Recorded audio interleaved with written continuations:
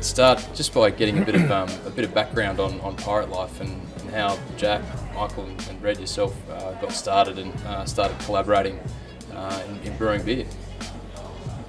Well, it's probably started when uh, we as a family lived in America. So when Jack finished high school at the age of 18, he, he needed to be toughened up a bit. So I thought, well, a good way to do that was to send him off to Brewdog to um, he initially only for a three month stint to um, just basically work on the bottling line up there because I knew they were short staffed because I was pretty close to the boys. And uh, so he got up there in the uh, sort of the November of 2010 I think it was and uh, Red turned up there in the February of 11 and uh, they ended 09, up 09, 09 and 10 09 and 10 um, and they uh, ended up not only working together but uh, sharing a sharing a house together as well for nearly a couple of years. So great opportunity for them to learn the brewing school from you know, uh, Martin Dickie and uh, James Watt. Obviously, everybody knows Brewdog and they know the success they've had. So it was a great opportunity for the boys to, to uh, you know, get a really good understanding of uh, what craft beer is all about, and I think uh, understanding what hops, what role hops plays.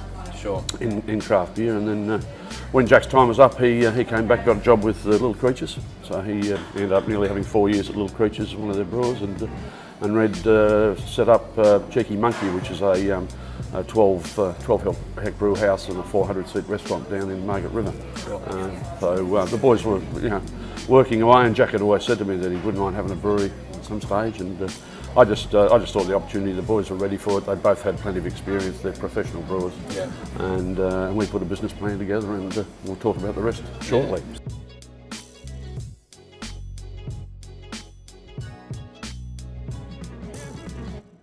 Pirate Life the brand. Um, where are the origins and what's the, the story behind Pirate Life?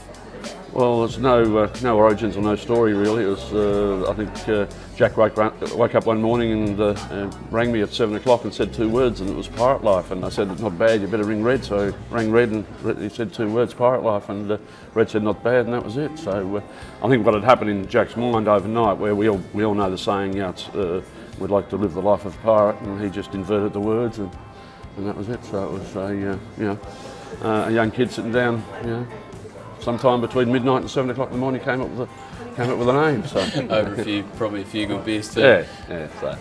But often, you know, with the start-up companies, you're always hunting around for a name, and we've been we've been throwing crappy old names out left, right, and centre. Absolute stinkers. Yeah, yeah. yeah. and uh, so was, uh, we, we, we gave up thinking about it for a while, and uh, and, uh, and Pirate Life came up. But I think it's really uh, if you when we when we travel the country and talk to um, customers, the, the, name really resonates. It's got a, it's a little bit different, but you know everybody wants to be a pirate anyhow. They've got that uh, sure. little bit of uh, you know sort of scallywag about them, so uh, it's uh, it's worked pretty well.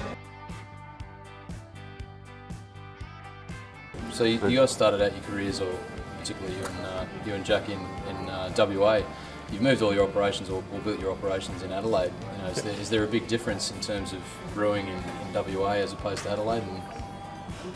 Um, not particularly. I think um, obviously, oh, uh, with the exception of Coopers, I think um, in WA you had you know, Feral and Nail and yep. Sail and Anchor around um, Matilda Bay around for a lot longer. So I think um, the beer scene in, in uh, uh, WA is pretty well developed.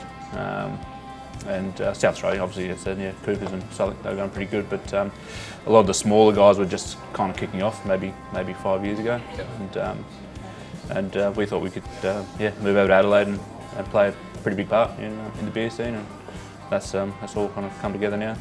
Very cool. I think I think part of the other reason too is we we set ourselves up to be a uh, production brewery and we wanted to have national distribution fairly quickly. And Adelaide's the perfect place for doing that in the sense that you, we can have beer overnight into Melbourne and Sydney, mm -hmm. a couple of days Brisbane, a couple of days Perth. So, uh, sure. uh, and because we ship uh, refrigerated, um, it's a nice, uh, we know that it's not a long haul out. It's uh, basically leaves the brew on a Friday and it's in the warehouses on a Monday. So works uh, works pretty well for us from that point of view. Keep the beer nice and fresh.